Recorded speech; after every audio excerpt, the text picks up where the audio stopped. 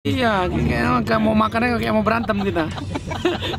Emang gitu, hampir pelawak tabrakan kan. Ini udah medan asli nih, Bung, beras tage. Nyari alamat aja bisa kayak berantem ya. Padahal cuman di situ juga ya tadi. Si Hanim. Dia kalau masa kecil masa kecil cinta monyetnya dia dibongkarnya nggak mau. Nah, kan bukan nggak mau, lupa. Halo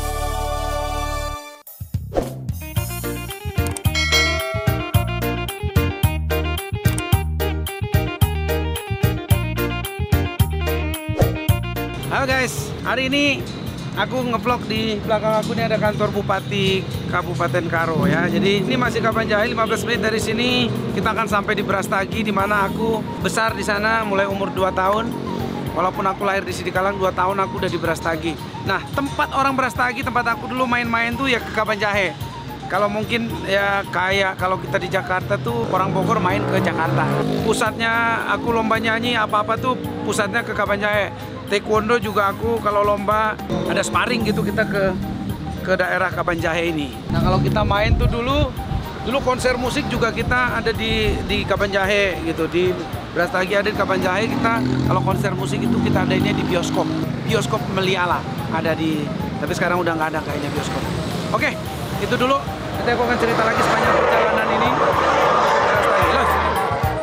Nah guys, sekarang kita udah di mobil lagi. Kita sekarang menuju ke Brastagi.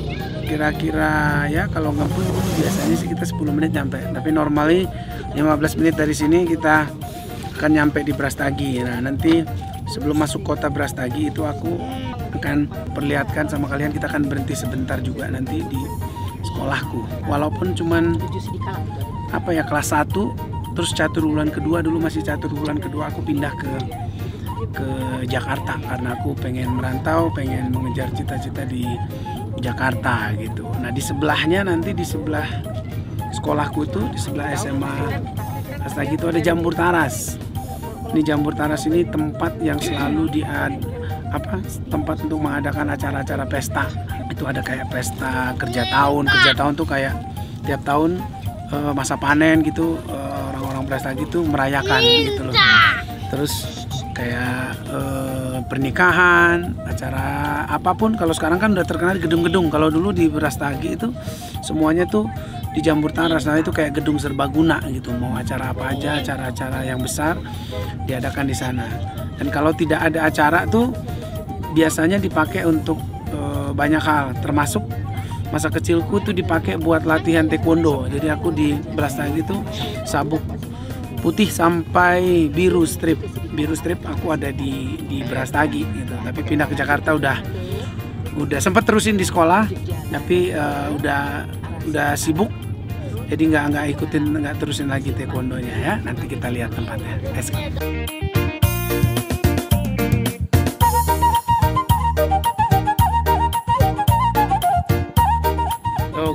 tadi kalian lihat di depan tuh. Kalau dilihat kayaknya serem gitu. Ada orang-orang naik di satu angkot itu bisa sampai berapa orang ya? Bisa 10 sampai 20 orang. Eh, apa kayak ya pick up, pick up. Jadi ini namanya Aron. Ini orang-orang yang dibayar per hari untuk kerja di di ladang, berkebun gitu kayak mungkin biasanya kalau lagi mau panen atau mau mau nanam ladang yang gede. Jadi pengusaha-pengusaha perkebunan tuh meng-hire mereka. Dulu sih zamannya aku masih sepuluh ribuan. Per hari ya? Per hari sepuluh ribu per hari. Jam kerja mungkin 8 jam kayak sekarang lah ya. Dari pagi nyangkol terus nyangkol terus nanam atau manen gitu. Jadi biasanya pagi-pagi mereka udah nongkrong di pinggir jalan ada spot-spot tertentu. E, di sana nanti akan dijemput oleh truk atau pickup yang jemput mereka untuk tergantung. Ada kayak mandornya nanti ladang yang ini nanti ambil berapa orang. Biasa kayak kejar-kejaran tuh. Aku aku gitu pagi-pagi. Jadi siapa yang mau kerja jadi nggak nggak nggak kita nggak tahu hari ini di kebun siapa. Pokoknya itu orang ready ready to wear lah. Ready untuk bekerja gitu ready untuk uh, ke mana aja. Dan pokoknya tiap hari dia bisa menghasilkan 10.000 ribu gitu. Jadi berangkatnya kayak gitu tuh. Kayaknya ngelihatnya kadang-kadang serem gitu. Seru kan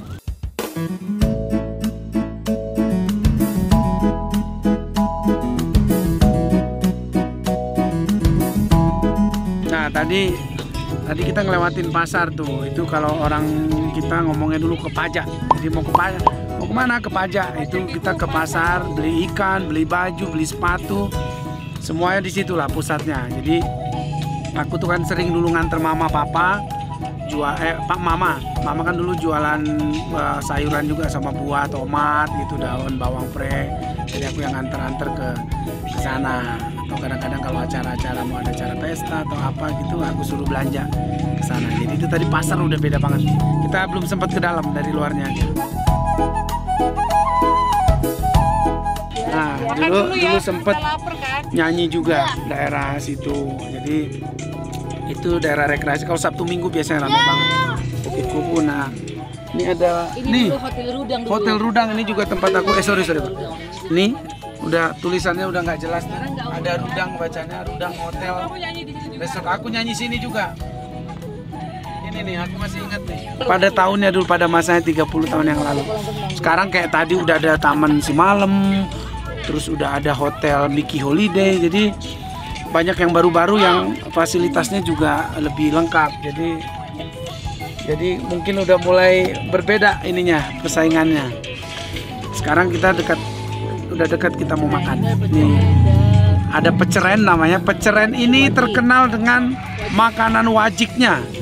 Jadi wajik sama minum cendol. Nah itu cen itu biasanya kalau uh, weekend weekend tuh ngantri orang untuk bisa dapat tempat duduk makan di situ. Ini nanti aku tunjukin. Masih ada apa nggak aku juga nggak tahu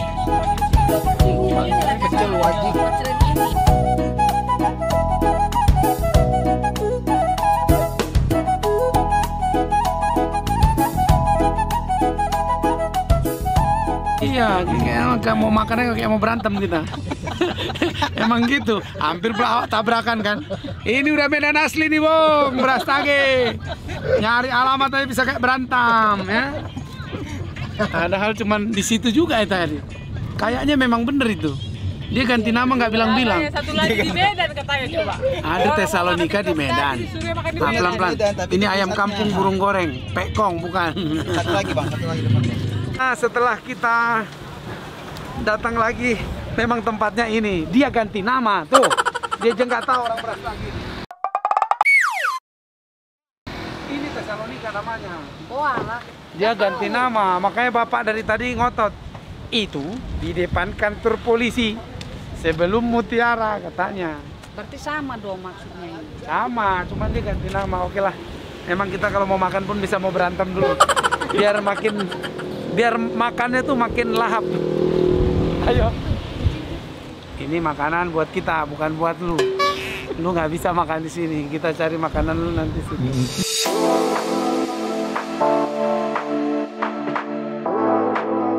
Oke, kita mampir dulu makan siang karena sudah kelaparan tadi habis waktu kita lumayan banyak ngambil jeruk.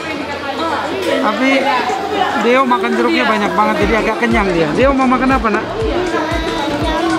Teh manis. Kok minum doang?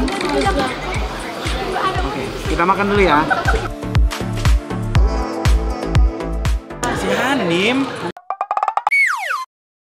yang punya warung wajib peceren Yang punya. iya yang mamanya punya wajib peceren Aku kenal. ya iya kan kita teman jalan satu geng si Hanim namanya udah lah dulu pada Ya, soalnya ngobrolnya kan naksir kan. Aku lagi bayang mana pernah. oh banyak ditaksir kak Mana. Lupa ingatan dia lupa ingatan. Ini gosip-gosip kayak gini yang cari. gosip. kan dia kan dulu superstar dari SMP superstar dari SMP superstar dari SMP. Ingatan dia lupa ingatan. Kenapa? Emang ada apa? nggak ada apa-apa Dia kalau masa kecil masa kecil cinta monyetnya dia dibongkar dia nggak mau. Nah, kan bukan nggak mau. lupa dia lupa Aku tahu yang pokoknya peceren ini memang wajib ter. Kita tuh kan mainnya sejauh apa? Iya. GBKP paling jauh. Terus ke Kabanjai.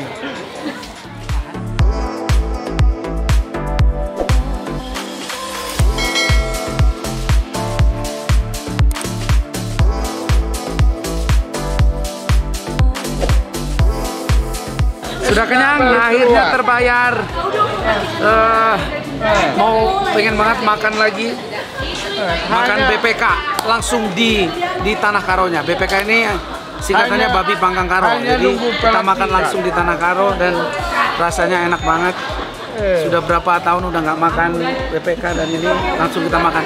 Ini buat teman-teman yang eh, Muslim yang mungkin nggak nggak makan BPK, mohon maaf tapi kita memang pecinta pecinta eh, BPK jadi kita makan tadi lezat banget ya. Sekarang kita mau lanjut ke Gundaling.